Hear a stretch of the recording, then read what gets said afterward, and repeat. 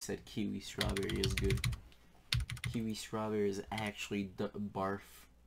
It Use actually tastes use like code barf. PewDiePie Code money. PewDiePie, and you